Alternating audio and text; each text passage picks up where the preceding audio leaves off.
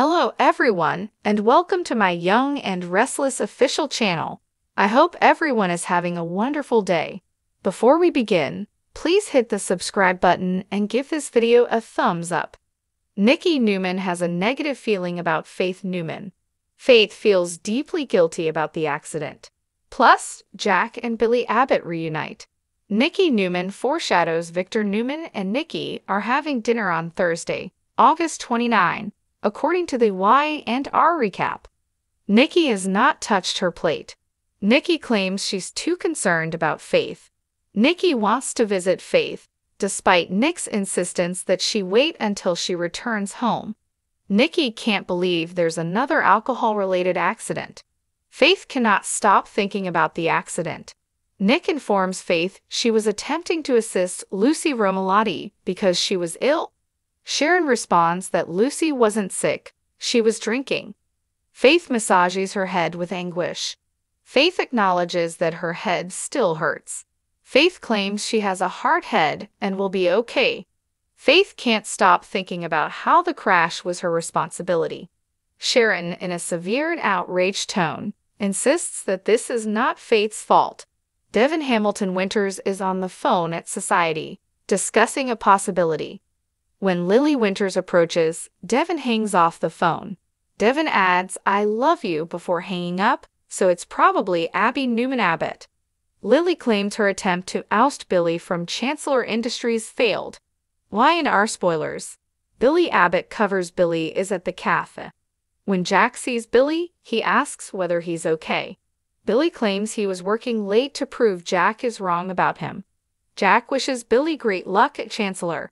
Billy corrects Jack by saying, ABBUTT Chancellor.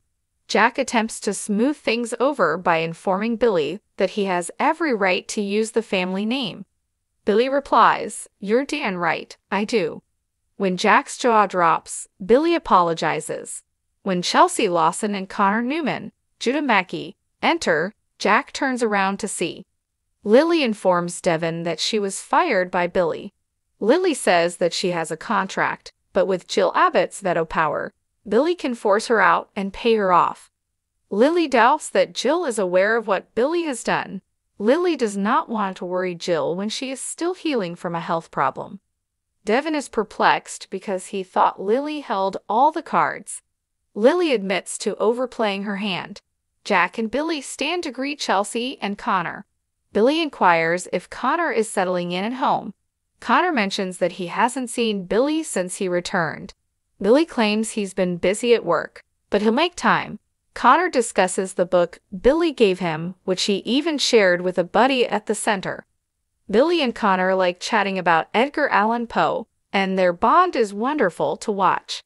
Connor cracks a joke about Poe absolutely losing his mind. Jack explains that this is what guilty consciences do to people. It's not awkward at all, Jack. Billy and Chelsea trade arch frows.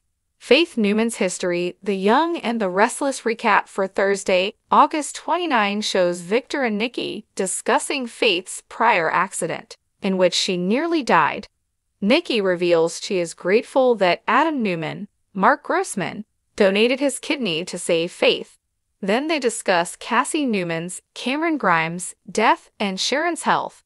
Victor knows Nick will be there for Sharon and Faith.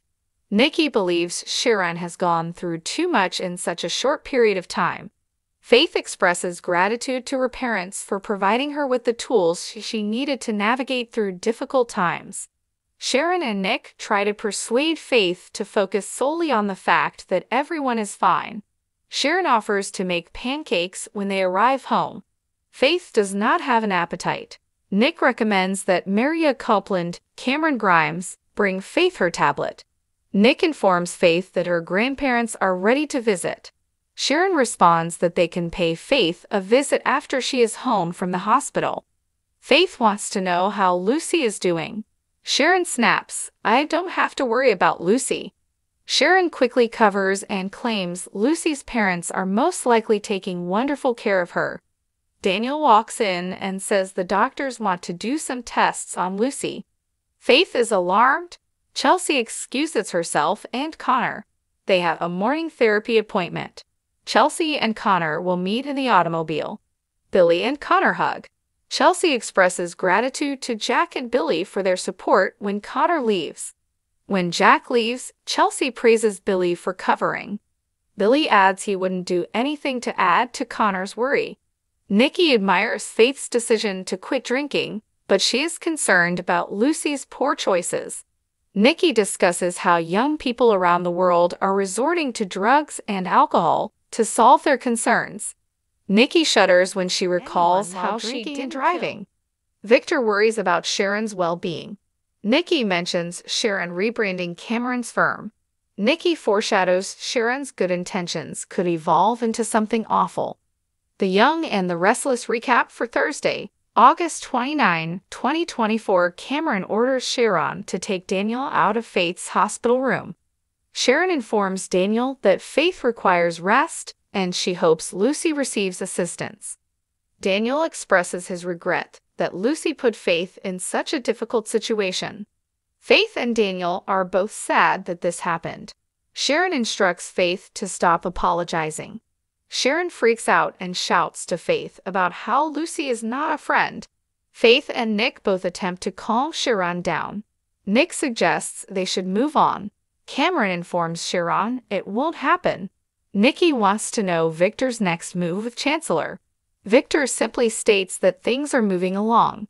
Victor urges Nikki to investigate the incident between Lily and Billy.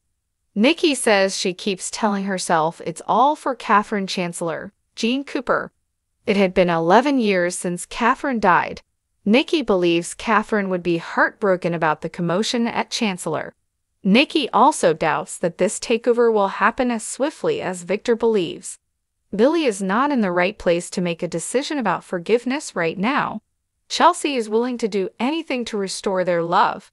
Chelsea adores Billy, but he is currently unable to reciprocate. Then Billy admits he loves Chelsea, but he's not sure what that means anymore. Chelsea still has hope. Lily regretted pushing Billy, Lily tells Devon about Billy's responsibilities. At the very least, she is knowledgeable about it. Devon informs Lily that she is not a quitter. Devon offers Lily a job, but she declines.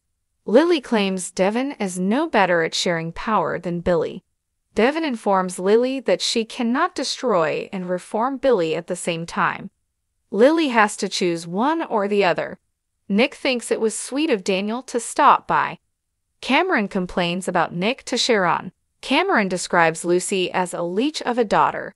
Nick and Sharon exit their hospital room. Cameron talks over Nick as he tries to help Sharon digest things. Cameron says, I need you to focus. Every second brings us closer to the answers you're seeking for. Sharon screams at Cameron. Nick believes Sharon was yelling at him. Sharon swiftly covers. As Nick continues to speak, Cameron mocks Sharon, wishing for her ex's wet, sloppy kisses and weak knees. Even Sharon seemed perplexed by some of her hallucinations comments. Billy informs Jack of Chelsea's betrayal. After some back and forth, Billy informs Jack that Chelsea had slept with Adam. Thanks for watching if you like this video, so please don't forget to subscribe to my channel and don't miss any updates.